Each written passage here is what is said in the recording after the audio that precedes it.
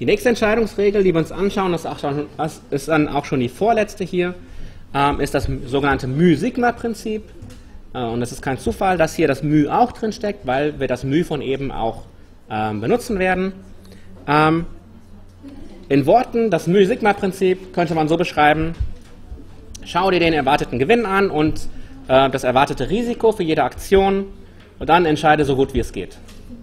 Ähm, weil hier ist es so, hier kommt selten irgendeine eindeutige Aussage raus, weil ähm, obwohl wir ganz viel rumrechnen, haben wir am Ende zwei Parameter ähm, raus für äh, jede Aktion und müssen dann auch ähm, jede Aktion in Bezug auf beide Parameter bewerten. Ne, der erste Parameter ist das μ, was wir eben berechnet haben. Das ist sowas wie der erwartete Gewinn oder der erwartete Nutzen.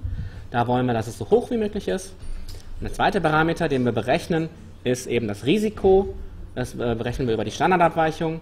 Und das sagt uns dann eben was aus über das Risiko dieser Aktion, wie stark die schwankt. Und da wollen wir natürlich, dass es so niedrig wie möglich ist. Ähm, und hier im Beispiel ähm, kann ich nochmal durchgehen jetzt. Also μ1 hatten wir eben gesagt, ist 33. Also das ist jetzt 1 zu 1 übernommen von eben. So, das ist der erwartete Gewinn.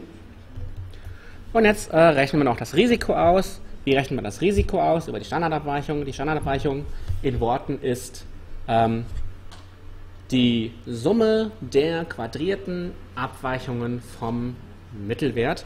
Es ähm, sieht dann so aus für 1. Ähm, nennen wir es mal Sigma 1. Ich schreibe mal ein Quadrat dran, damit ich nicht so eine große Wurzel schreiben muss. Ähm, für äh, Aktion 1 sind wir jetzt also.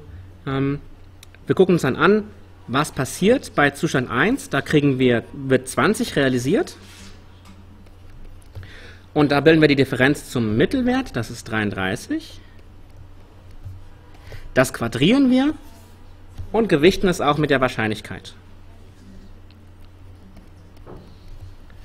Ein Zehntel habe ich jetzt dran geschrieben. Okay? Und das machen wir für jeden Zustand. Das heißt, für den zweiten Zustand haben wir dann hier die 30 und die 0,5. Dann steht da eben plus ähm, 1,5 mal 30 minus 33 zum Quadrat. Und für den dritten Zustand sehen wir, da haben wir einen Gewinn von 40 und eine Wahrscheinlichkeit von 40 Prozent. Und das ist dann eben 0,4 mal 40 minus 33 zum Quadrat. Ähm, das ist die Formel für die Standardabweichung. Also sie, ähm, im Endeffekt ist es auch erstmal eine Summe, die wir bilden für jeden Zustand. Und äh, in dieser Summe steckt eben drin die Differenz von dem eigentlich realisierten Wert, das sind hier diese 20, 30 und 40, zu dem Mittelwert. Das sind die 33, die wir vorher ausgerechnet haben. Das quadrieren wir jeweils und gewichten nochmal mit der Wahrscheinlichkeit. Und ähm, wenn wir das alles eintippen, sollte rauskommen 6,4 zum Quadrat. Also das, was jetzt hier rauskommt, wenn wir da die Wurzel ziehen, müsste 6,4 sein.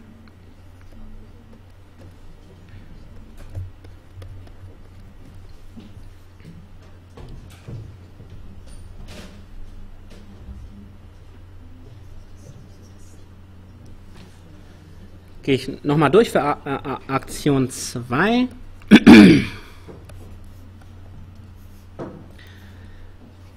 Bei A2 brechen wir auch die Standardabweichung und da sagen wir eben, in Zustand 1 haben wir einen Wert von 0, Wahrscheinlichkeit von 0,1, also 0,1 mal 0 minus 51, weil der Mittelwert hier ist 51, quadriert plus 0,5 mal Klammer 30 minus die 51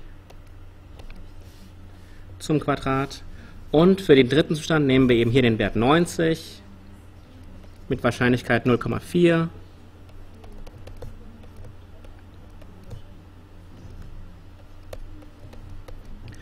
Und wenn wir das alles eingeben, sollte ein Sigma rauskommen von 33. Und für das dritte, wenn wir das eingeben, sollte ein Sigma rauskommen 58,79. Und die Preisfrage ist jetzt, was machen wir damit? Ähm, wir sehen, Aktion 3 hat den höchsten erwarteten Gewinn, aber Aktion 3 hat gleichzeitig auch das höchste erwartete Risiko. Okay? Und wir sehen, ähm, Aktion 1 hat das geringste erwartete Risiko, aber auch den geringsten erwarteten Gewinn. Das heißt, im Endeffekt können wir hier nicht so wirklich irgendwas entscheiden, ähm, laut Mu-Sigma-Prinzip, weil ähm, jede Aktion hat hier quasi Stärken und Schwächen. Okay? Äh, Aktion 1 bringt uns im Durchschnitt nicht so viel, aber hat auch nicht so viel Risiko. Ähm, das wäre dann Deutsche Staatsanleihen. Und Aktion 3 äh, könnte uns ziemlich viel bringen, hat aber auch hohes Risiko.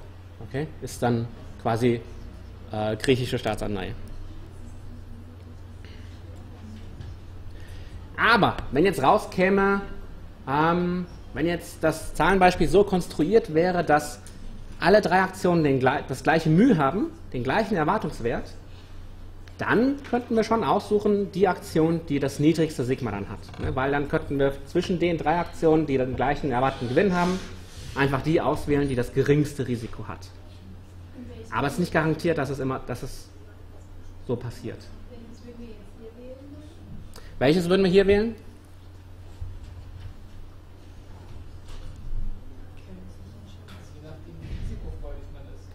Je nachdem, wie risikofreudig man ist. Also laut Musikma-Prinzip